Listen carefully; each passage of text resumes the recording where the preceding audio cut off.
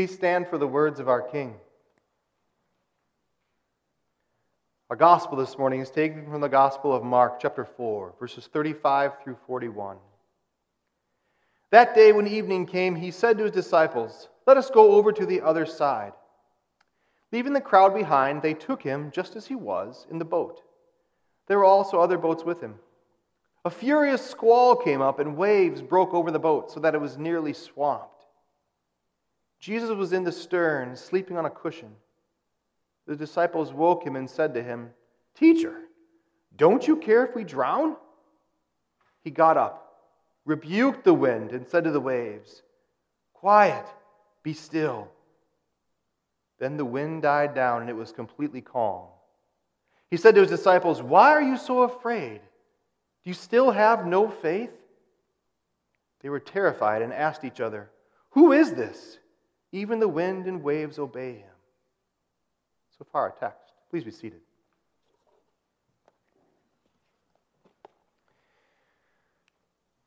Dear Christian friends, as I already asked in the children's message, what are you afraid of? We have to kind of poke around that a little bit. Um, is it, in fact, lightning? I'm not going to play the thunder again for you, don't worry. Is it something that's going to happen to your kids? I think after you're a parent, almost all your fears shift to your kids. You care less about yourself. Well, I, and if you've been alive this past year, you've been nursing a roller coaster of fears of COVID, haven't you? Just the up and down and the news and who to believe. It's been hard. Finally, I think our text takes us to waves and storms and nature. But I think any of those fears work. And I want to go forward under the theme get in the boat with Jesus. The storm is scary, but even the wind and waves obey. That picture is from the 17th century. There are about there's a flurry over, over the 17th century. About 10 different really well done pictures of this account from Mark 4. it kind of gives you a good idea of just how perilous it was. This was not a nice boat.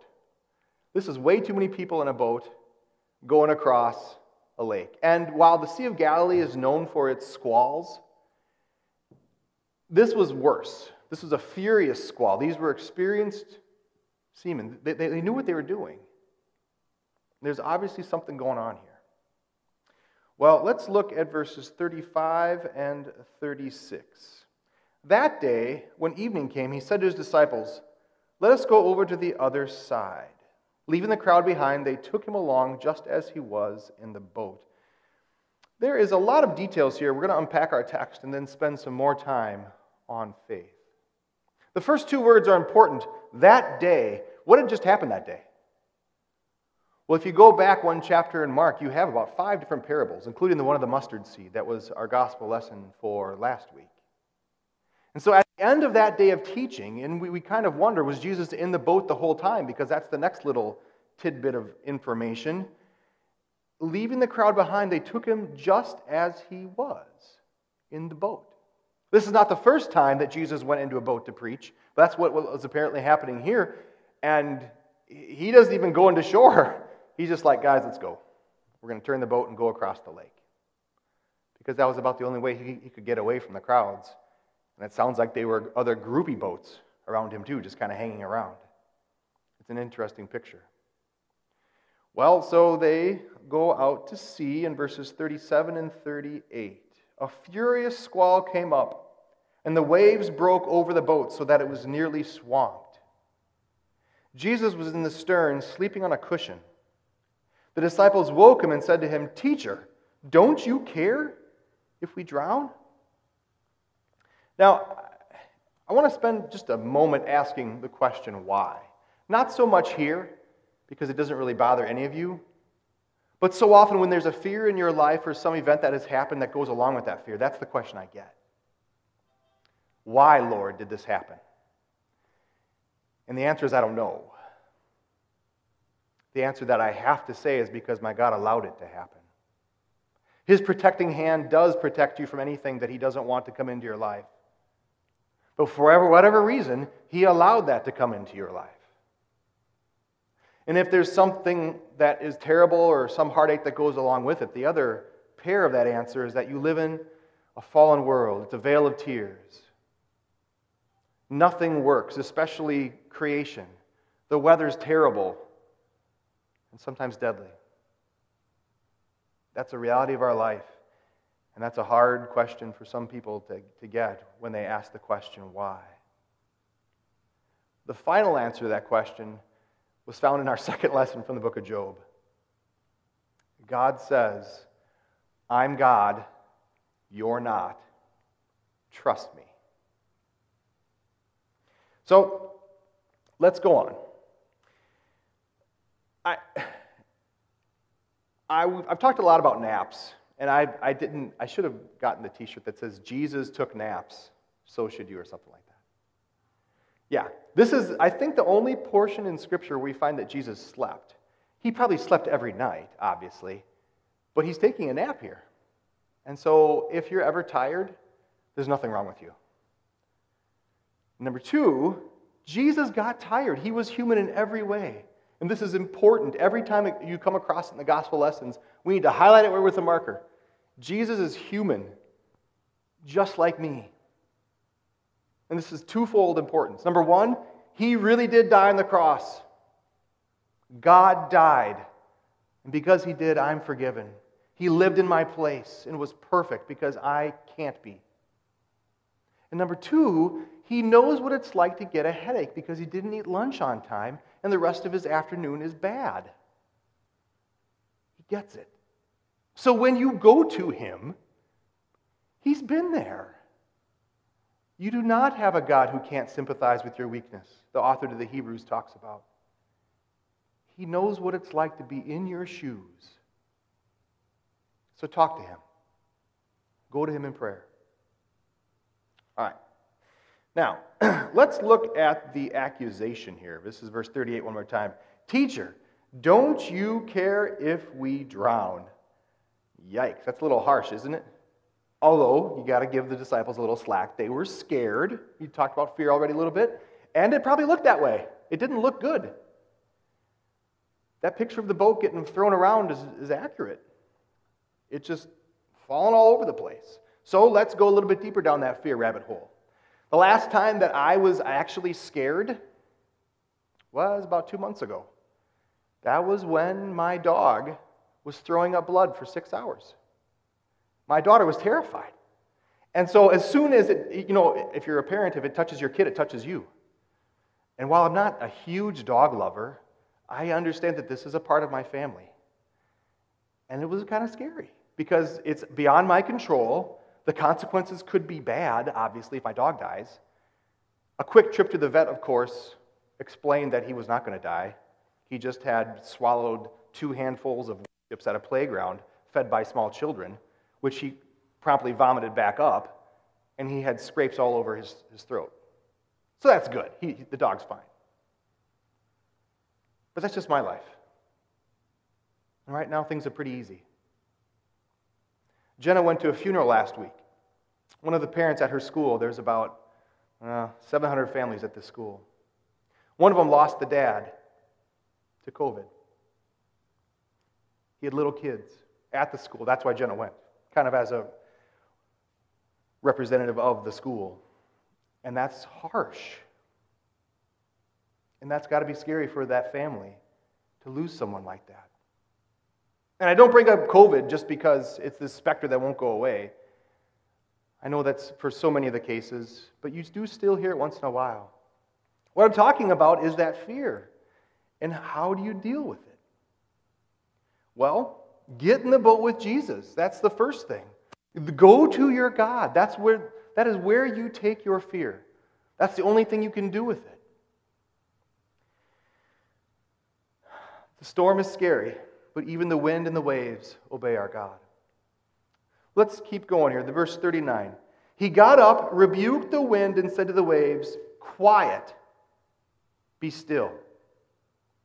Then the wind died down, and it was completely calm. Now, I have to tell you, this is not the first time that somebody with authority tried to rebuke the waves.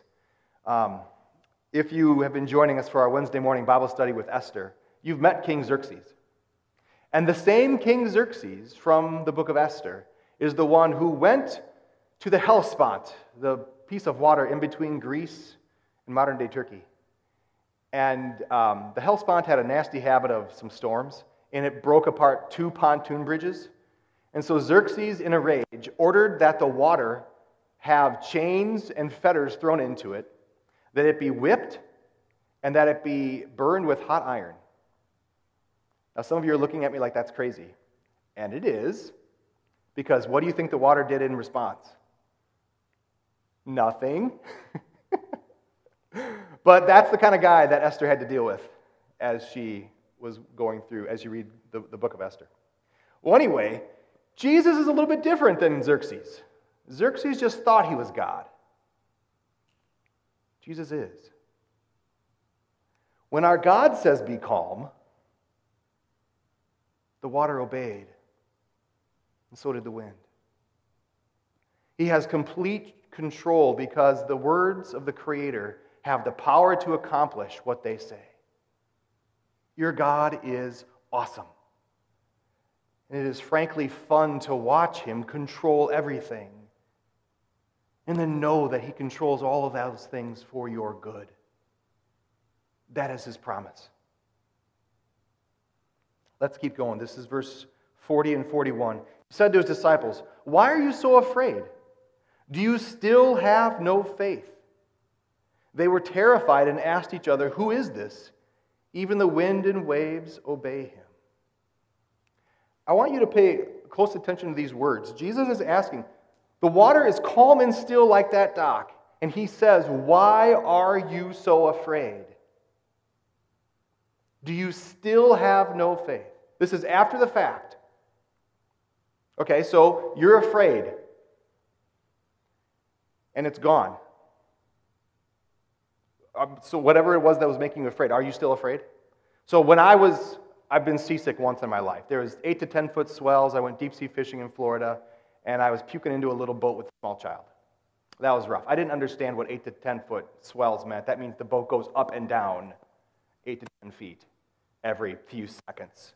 And I was puking my guts out. It was terrible. But as soon as I walked back on land, it was over. I mean, immediately. And I was hungry. It was great. Now, when one of my five children hears the thunder from the children's message and comes running into my bedroom, terrified, I'm holding them. They're safe, but they're still terrified. You've got to give them a hot minute to just kind of calm down because we get wound up. Next question you want to say is Disciples, you just saw this. Why are you still afraid? Well, because they're just like us. They're still afraid. And then you have Jesus' rebuke. Do you still have no faith? Now, I, we need to spend some time on that line. Do you still have no faith? That is a rebuke. He's telling the disciples, What you're doing is bad here. You guys need, need, need to trust me. But what exactly are you going to do with this? And first, any conversation of faith, you have to go forward under the understanding faith is only as strong as the object that you're, that you're trusting in. If I had a chair in here and I jumped on the chair and I sat down, I have faith that it's going to hold me up, right? That's how everything is in life. Or I grew up up north. If you're going across ice, do you go across ice on your hands and knees? And as you're halfway across, you see the um, big, big monster truck roll past you because the ice is a foot thick. And then you realize, oh, well, that was kind of dumb. And you get up and you start walking across the ice. Yeah. That's how it, is with, how it is with your God. You can be the monster truck going through life trusting in God's promise. Do that. But I know that there are some people, some Christians, who will share glory with me, who will go through life on their hands and knees, crawling around in terror because they don't trust all of those extra promises. So let's break it down a little bit. I think what you have to do is you have to see what can God do? Let's give you some examples. Can God fix your marriage if there's something wrong with it? Sure. Can God cure Any disease, back pain, chronic pain, COVID, you name it. Yes. Can God bring someone into your life that you could love for the rest of your days?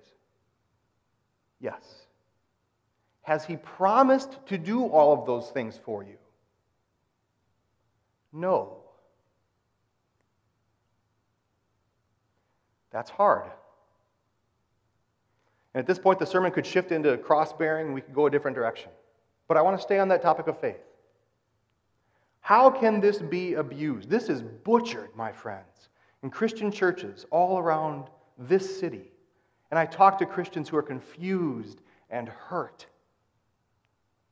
Joe or Jane Pastor stands in front of their congregation and they said, If you are afraid, you obviously don't have faith in Jesus. Because that's what Jesus says here. Why are you so afraid? You still have no faith. That is not what Jesus is saying. And yet, there are people who have just been told not only don't worry, they've been told don't be afraid. That is a confusion of law and gospel. If I go up to someone who is terrified and I say, don't worry about it, I have just, I think that I'm helping gospel, but I've just added another law on top of it. This another person told me that I can't be afraid anymore. That's terrible. You cure that by pointing them back to Jesus. Get in the boat with Jesus. Even the wind and waves obey him, and so does disease and sickness. And whatever other problem you have, go to him. That's what you do. It gets worse. Jack and Jill Pastor keep on butchering this. They say, well, if you really believe, God will answer your prayer and he will hear you. Those disciples didn't really believe. So you're sick and you have cancer. They say, name it and claim it. They say, I want you to say, cancer be gone, and then trust that God will accomplish that. That is despicable. What if your God is using that cancer to call you home to glory? And all they're doing as they're laying on their deathbed is wondering if they really believed enough.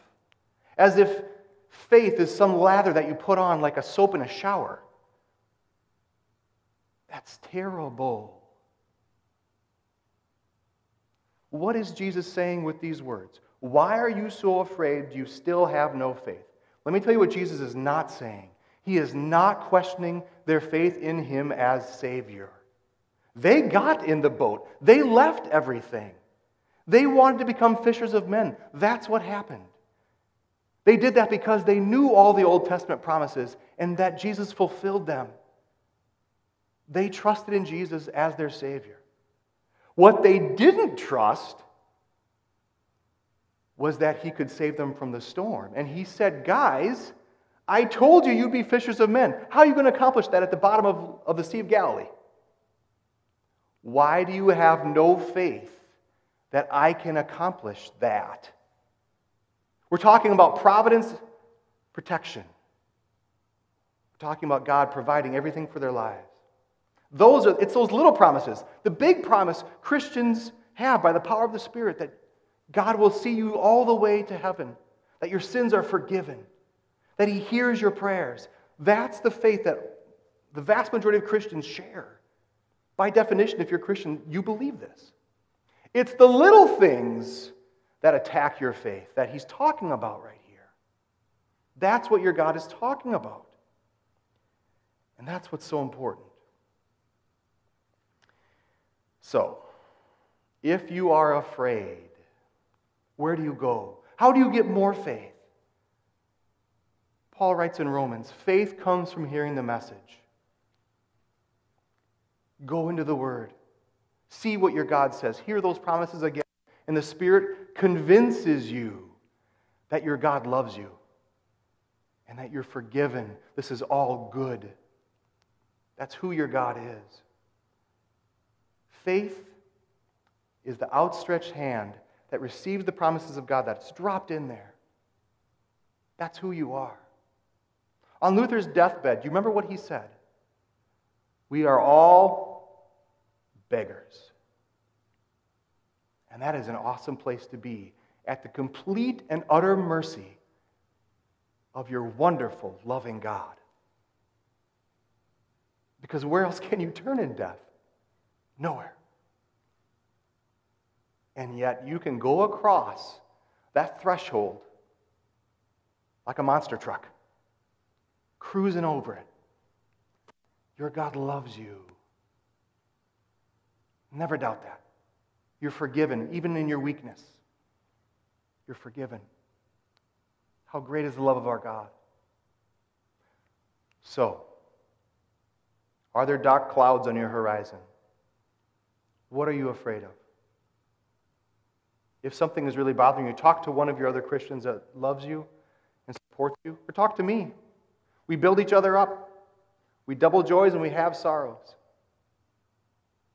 That's how we support each other. And may your faith never be shaken. Because you can get in the boat with Jesus. The waves are scary. I get it. But all of them obey Jesus. Amen. Please stand.